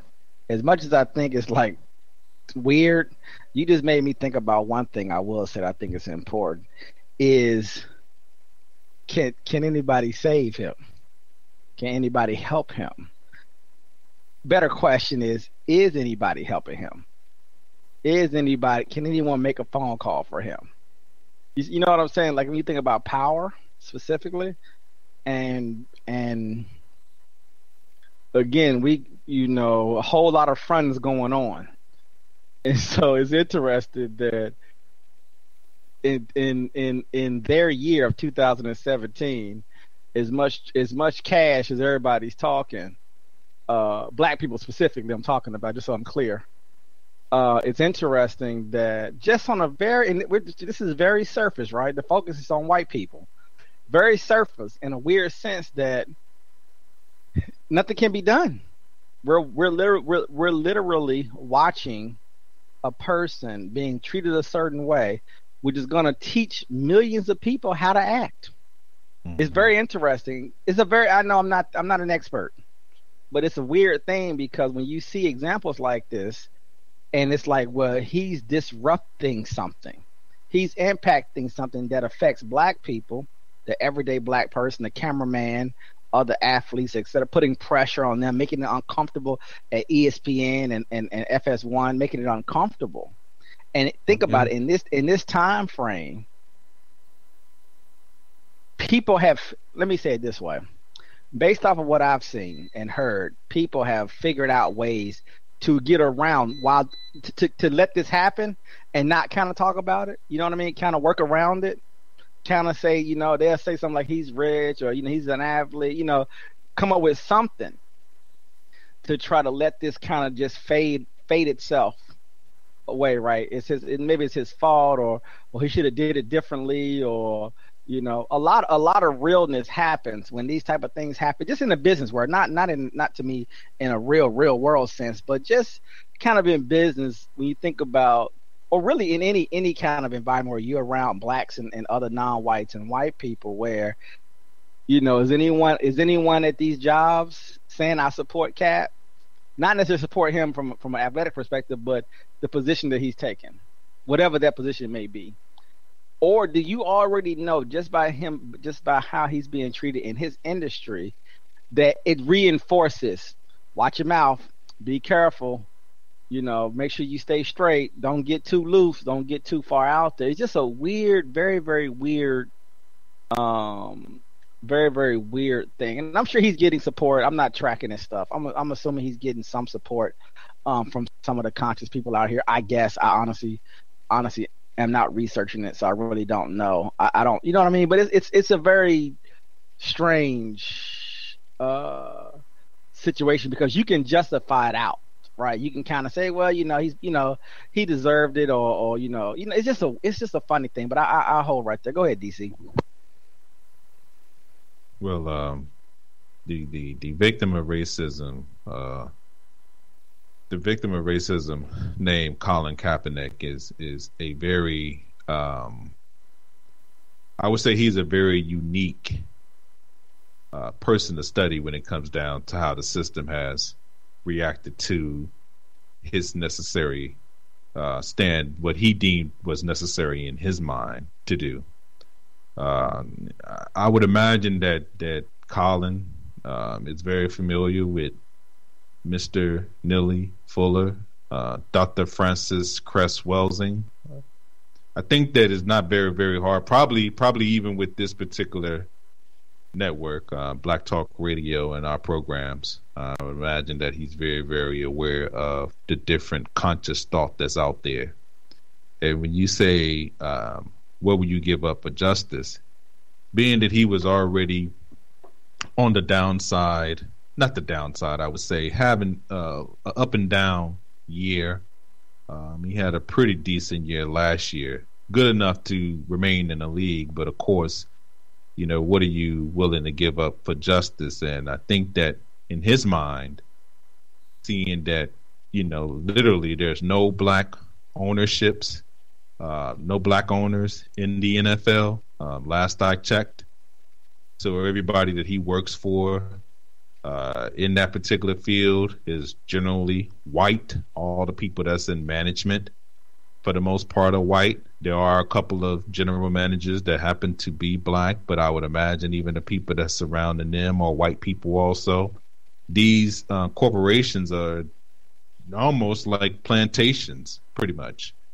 Uh, each NFL team has a very significant hold or very significant financial standing in their respective cities. Um, I don't care what city it is, it holds a part of that particular city.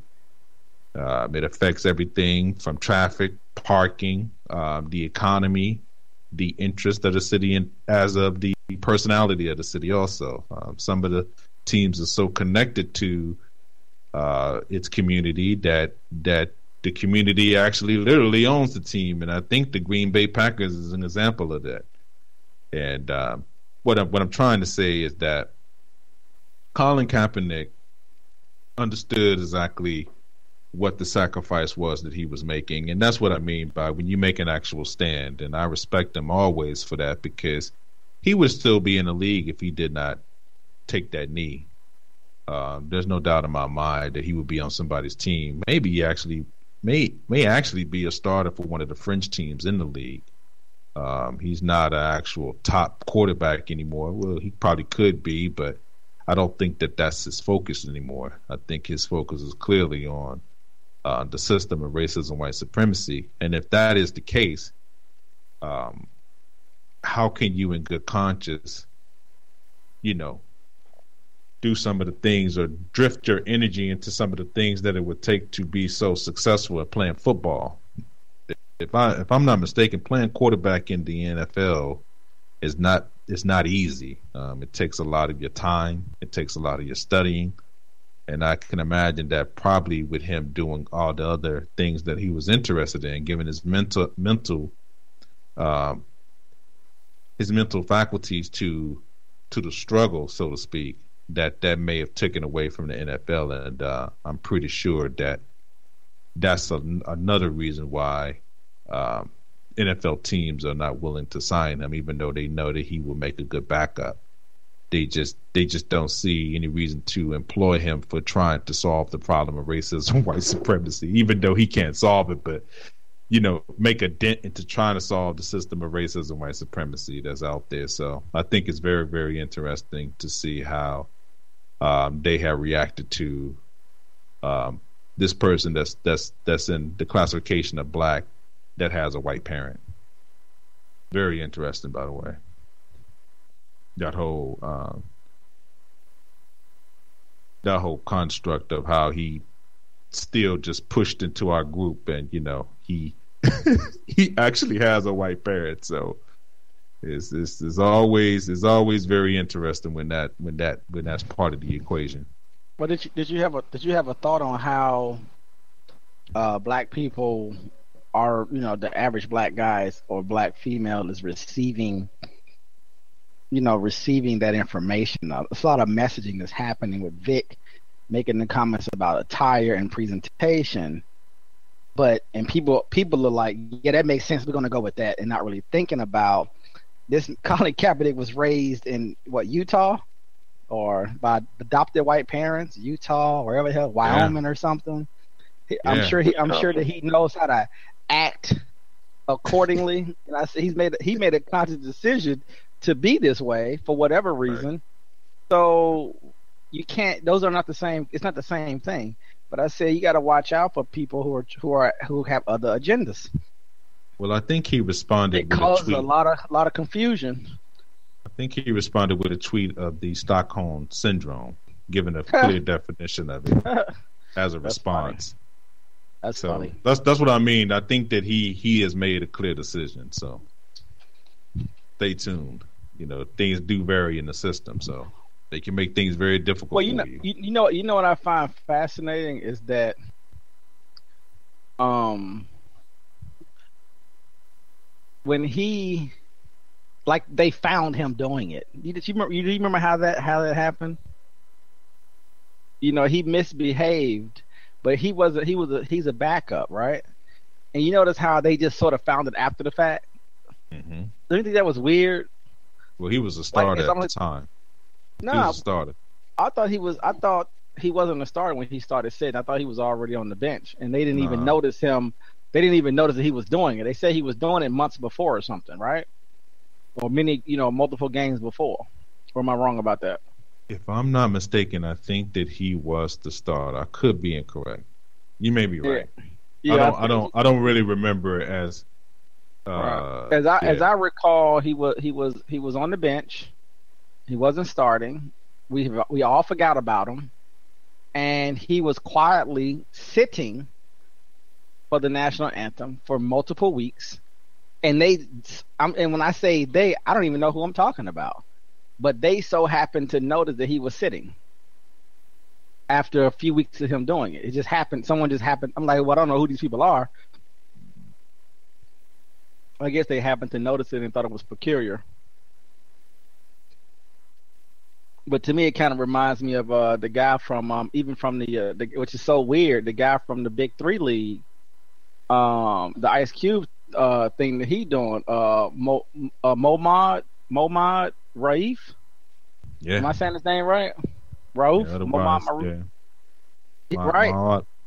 Uh, dang, I, I hate It's to Mo. say I his think the first name is. Momad. I think, but um, Yeah. Momad. I think it's like I'm. I'm. I'm formerly, sure I'm missing formerly known as Chris Jackson was his Right, Chris Jackson, name. CJ. Yeah. But CJ. uh he's an example of a person who changed his name. Right? He set for the national anthem, which no one even realized that, you know, he had did that back in the day. And he got punished for it. You know, it sent the message out it sent the message out to the to everybody and, and they uh they thoroughly dismissed him. Thoroughly dismissed him. And again, it's still an example of well, and you know what's so funny? I wonder what kind of message it sends to to the, to the individual who makes the stands because, you know, no one's gonna save you. You're on your own. You know, it's not like someone can come help you out, right? Can can stop it from happening or put a phone call and say, yeah, we know, I understand he's not standing for it, but this is why. So just deal with it. Like no one I know, no one on the planet that I know of has that kind of leverage. Well, it's like uh, Mis- it's like Mr. Fuller normally says. It's like you would get other victims to help you, but normally those other victims that are helping you are normally receiving aid themselves from somebody that's white. So it's still going to lead to that to that particular construct because of how they set the system up. It's just What I mean is that what, what they do, what they do know, and specifically talking about black people, not what, what not their own, what they got going on as far as uh, uh, anarchists and and uh, and people who are who are who are anti uh, democratic, etc.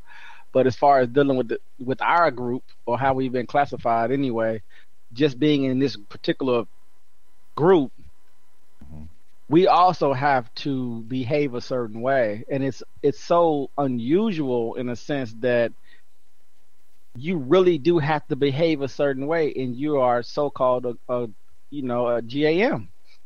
You know what I mean? Like it's like, well, that's you know, if I decide politically to take a stand, or if I decide that I've been mistreated, I happen to read a book, I happen to interact with someone, and they kind of give me, you know, kind of wake me up that I get punished for it. What I what I what I what I was wondering about, just what you were talking about, you or T can kind of respond, but just that is that a power issue? When if I take a position, does that does that does that expose anything? Right. So if I decide to stand up or sit down or whatever, who can save me? Who can protect me? Who can say, well, you know what, you taking a, you taking a position, but you are still a participant. You're still involved. You know, so we're gonna make a phone call and just make sure that you can do what you're doing and still maintain your your job. That you know, I mean, exist, would, would it be the NCAA? Would it be the Uh, nah, not not these for groups not out for, here can can go and just no? It exists. It exists in the um in the public call- corporation sphere, but but it doesn't really exist in a private uh enterprise sphere. So So you- you like playing for NFL teams, you you there's no they decide on who who they want on their teams. It's clearly it's clearly to the the owner's discretion or who they deem in charge. And then even even then, if the owner wants to, you know, uh, overrule a decision made by somebody that's under them, then they can do that. Um, that's just that's just part of what the what what that is, and all the owners except for um, one one person, I think, are white males. I do think that there is a uh, well, no, not all of them are white. I think the one for Minnesota, not Minnesota, the one for Atlanta, I think he may be Middle Eastern. I don't know if he falls into the classification. He may, he may not. Um, I do know that there is one white female that's also the owner of a team, but Mm-hmm. uh, pretty much it's uh, all white males and their families. Um, That's what I was saying about. team. That's what I was saying about how crazy it is, just because it's such a real thing. Like if you don't stand up for this flag, like you know how people will say, like these conspiracy people, right? Like people who talk about what's real and what ain't real, including myself, of course. But can can I can I say a- this though? Can I say this one one time, but right before you get started? The ideals, what I was saying earlier about justice, right? The ideals of this nation. Colin made a point to state that all I'm asking is for this country to live up to its creed, its constitutional laws about how to treat everybody as equal and I don't feel like I should stand until I notice or see a significant difference in the treatment of people of color. He didn't even say black people. He just said people of color, which can mean a whole host of things. But just to say that, hey, until I see a difference or notice a notice a difference or see that there is some kind of movement going on, then I would I will continue to take a stand. Not take a stand, I will continue to kneel or sit during during the actual national anthem because it doesn't mean anything because it's on false ears. Nobody nobody's living up to the particular creed. Nobody's even trying to. So I just thought that was interesting when you got to the justice part also. Go ahead. Sorry about that. I just I just filibustered you, man. That's that's my bad. Go ahead. Oh no, you, you you threw me off. But anyway, I will say this um about what you about what you just said. I think that um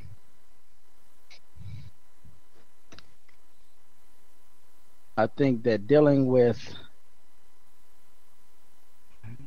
I mean the best word I can use is dealing with an empire. I think it's I think it's ridiculous. I think it's all ridiculous. You know, uh, you know, not not of course all of me thinks that, but just a part of me, just as I'm as I'm talking out loud. And again, as we all as people have to understand, this program is really for. Well, I can speak for myself. It's for me to kind of talk things out and just kind of have discussions about different things. Not, not, not, not a lot more than that in my from my from my perspective. Just trying to get get some ideas out there and just think think through some things. But um, I look at this as an empire, and I mean, I'm I'm so clear, I'm so crystal clear on that, that that I can kind of drop into a lot of different things and, and have conversations. But like, like what you just said to me sounds so ridiculous in one sense. Like, you know, he takes a knee, he takes a stand, he doesn't stand up for the flag, he gets punished for it. And the reason why he's doing it is is to make something that to make these things called laws uh, apply to to people of color. And it's almost like, well, this is an empire. It's you know what you know what it reminds me of. Matter of fact, it's a great. T, did you have anything before I keep keep running my mouth? I normally got like 15 minutes left, so I don't No, want to no, rant too much before I before I just go all the way out there. No, But uh, I say it real quick. It just kind of reminds me of like a pimp. You know, you know, it kind of reminds me of. You ever seen? Uh, y'all ever seen? Um, what's the sister name who used to do the Judge show? Real beautiful, uh, real beautiful sister, a little bit older. Judge Can't think- No, no, no, no. The, the other lady, she was before Judge Hatchett. You know, beautiful brown skin. Used to wear red lipstick. Had a short haircut, like, like, uh, like an old school Halle Berry type haircut. Um, I just can't catch her name right now. But anyway, she had, um, you know, she used to get these people that, you know, it's relationship stuff, right? and she would get these people to come into her courtroom and she would say like they would ask you know they would they would argue about whatever over some little money not nothing big and you know it, then she would get into their personal lives and she was like well you know how they always say well you met you know she, you knew she was a hooker or a prostitute or a stripper or not to not to obviously demean females obviously but just that you knew that um this is who you married, and when you married her, y'all never agreed that she was going to stop doing anything. That's my whole point. And then on the reverse side, not to bash men, but on the reverse side, just how you knew he was wild. You knew he was a freak. You knew he was out of control, but you married him anyway. But now you're sitting in my courtroom complaining, and it's like, but you knew what you you, you know what the, you know what this is, or like you know how a pimp has women in a sense. I hate that these are terrible examples. But you know he has women and they're like well why are you treating me this way? It's like well i'm a pimp. Or like you know you, you can you can take you can take um um i forget who it was uh brother larry. Brother larry up in new york. He was making a, a, a comment about uh lions and lions and zebras and and just how uh uh just just the interaction the behavior like you know what this is. So like all the things you're saying doesn't it doesn't mean anything. And so it's it's a it's it's it's it's it's always interesting even for myself to watch evolution happen where you know i think dc you had mentioned about what martin luther king was saying i think in one of his one of the things he was was speaking of that we was talking about recently but just that people are speaking like this is not an empire. It's a it's a it's a very unusual thing. And I know that we're constantly getting fed from movies and TV shows and, and from just driving around your, your, your cities and stuff that um you may think it's something else. And it's kind of hard to live in that space understanding how everything is tracked monitored registered controlled and how it's evolved to that so maybe historically obviously maybe not so much but it has it has the empire itself is getting stronger has getting more um has more continuity has more uh more um uh, more experience you know has grown has has has became more solidified. And and so when you kind of take a a, a a fresh look at it you you kind of you can i think we can kind of see like well okay so what are the qualifications and definitions and rules of an empire? Right not not nothing else but that no other words. You know that means that there are people in charge dictating. This it's an environment structured a very specific way to keep a certain amount of control to extract to exploit to maintain to manage um, and to dictate right? So if you if it's almost like once you get to the point where you where you believe that all these things are true things everything else kind of to a degree falls kind of falls to the wayside. So you can always have conversation about a lot of different things, but it's almost kind of weird.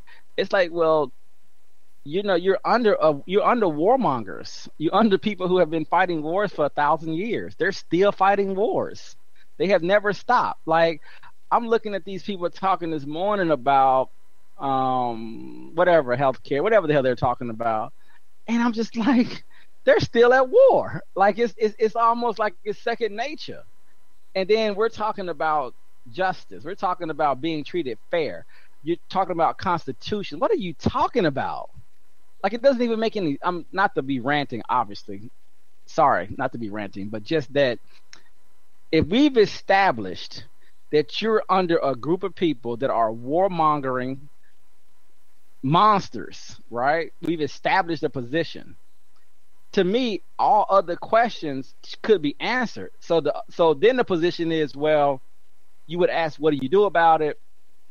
You you may ask, um, uh, what can be done about it? What does the future look like? And what are we willing to give up for justice? What are we willing to give up to put an end to it? What are we willing? These are just ideas, obviously. These are just thoughts. You know, what are you what are you willing to do um, uh, to make this stop? And and I would take a hard position, a firm position that that uh, worrying about constitutions, worrying about rights, is foolish and irrelevant. But that's just my that's my light opinion about it. That's just a part of me. Other parts of me think different things. But just just in this just kind of in this thought process that I'm in now, I, am just I, I can't you know the the it, it, it the amount of sacrifice I think that's required for justice will will take care of itself, right? It's going to happen. It's happening. One reason why they're I think one reason why they have to war constantly. I think one reason why they're still building, you know, aircraft carriers. The one reason why I think they're constantly um, trying to figure out new ways to kill and manage. It just tells you that human that that that non-white people, specifically blacks, just to focus on us, stay focused on us. We are, we are probably rejecting this environment constantly. So I, I, I know D had mentioned mental illness and and and other stuff that you uh, you know I'm I don't know about none of that stuff. Maybe maybe not. I think that I think that at our at, at the core of us, I think that um, that we are rejecting this environment. I think that I think the struggles you're seeing is probably the rejection of the environment. That they have to continuously, day in, day out, tirelessly trying to manipulate, trying to normalize. Like it's the weirdest thing to watch a white person, especially a white person with power, tell me about democracy and fairness and treatment, you know, getting everybody straight and making sure, you know, you know, people have all these goods and services. But the truth of the matter is, they're constantly conquering. They're constantly taking over nations and flipping them and changing them and manipulating them, all at the same time. Telling this is good for you. This is good for you. Yeah, I'm gonna kill some of your people because they don't know how to act, and then the rest of y'all who know how to act, it's gonna be good for you. This stuff is it's okay to live this way. Don't worry about it. We got you you know, we're gonna put this thing into place. We're gonna set everything up for you. It's gonna be great. Anyone who doesn't like it, we're gonna have to go ahead and kill them. But it's okay though.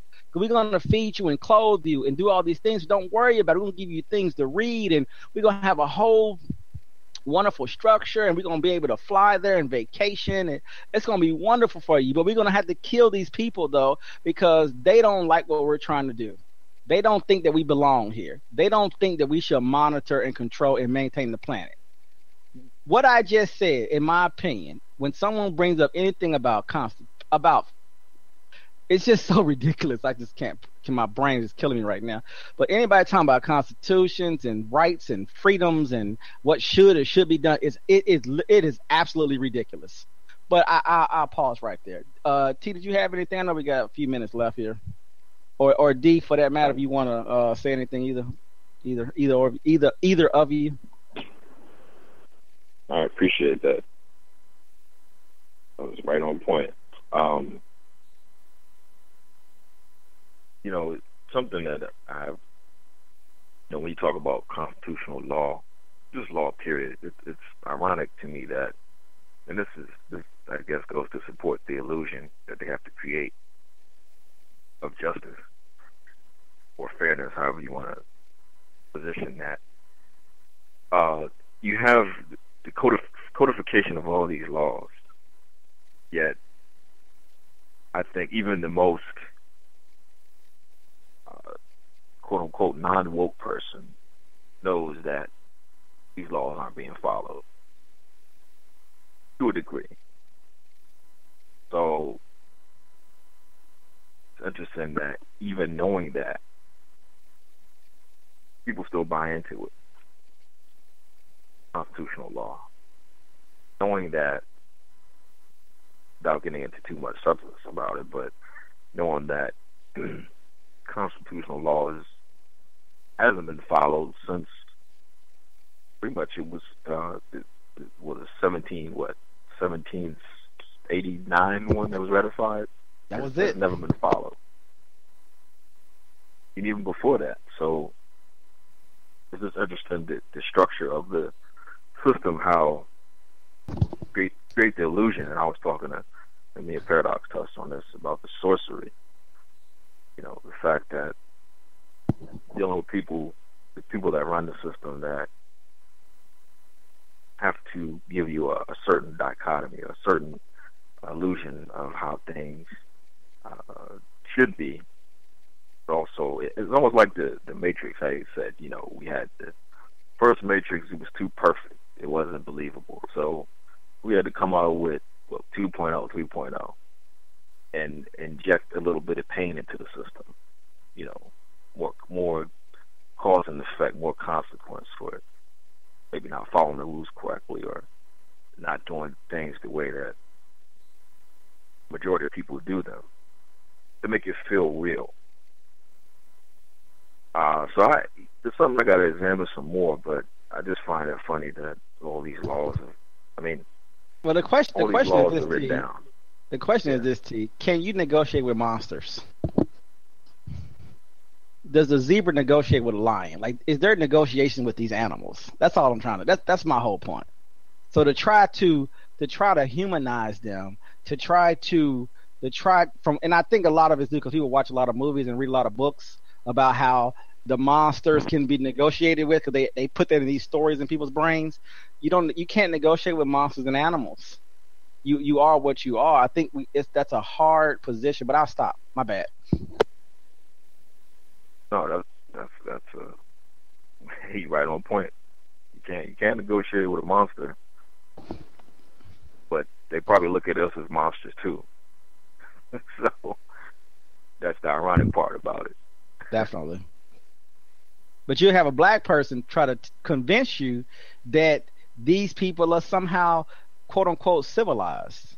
That's their word, right? Like they'll convince you that oh we can go do this and we can go do that. It's like what what are you what are you talking about? Based off of what evidence? Where are the facts at? Give me the data. You know that these are monsters. So how do you negotiate and maneuver I around don't think monsters? they know that. Ridiculous. I don't think they. I don't think they know that. it's insanity. It's the whole wolf in sheep's clothing thing. You know, the uh, the so-called devil, which is, is the archetype. I don't believe in it, but it, you know, when he sat there and offered Jesus the the world, just just think about that. Now, this is this is something. This, I'm gonna make the correlation. Now, God so-called created the devil, right? But yet He charges you with the responsibility to to resist it, and fight against it. So, in other words, the system creates the demons and the the the oppression that you have to deal with, and then charges you with fighting against it, but uh, but in a benevolent type of way, they present it to you. Uh, this system as if it's the best thing that since you know sliced bread.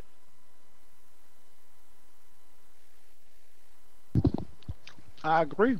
I think what I think what people are thinking is that oh we can we can just take it from them or we can just borrow it for a while, right? They may leave or something, and we can just keep keep it keep it keep it to our keep it for ourselves.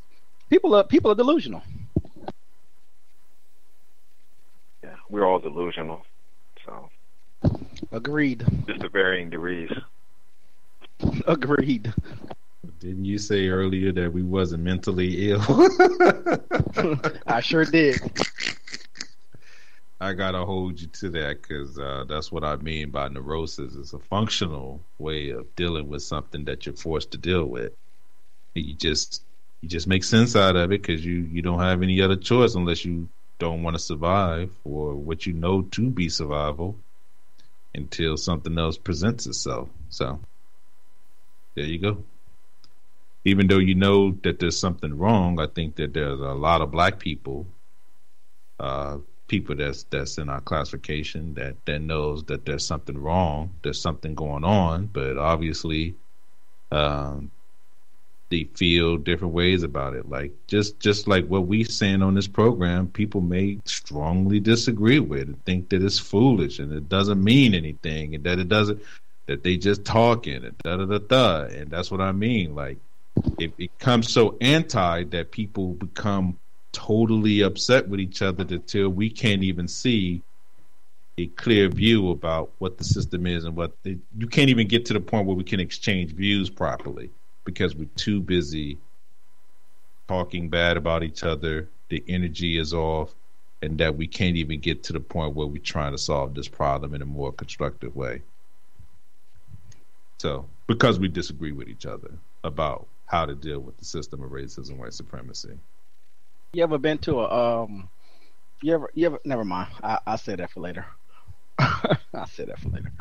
I know we getting. I know we getting was, close. That was a good one. I was waiting for it. I could feel it. nah. Uh, we are we are at the end of the program. Uh, so we do appreciate all our listeners. Uh, again, we appreciate Black Talk Radio and Mr. Scotty Reed um, for the platform. Definitely go to BTR Community. Again, we're on first and third Tuesdays. I'm um, first and third Tuesdays at nine uh, p.m. Eastern uh, every month. This is Paradox. This is D. And T. Till next time, peace.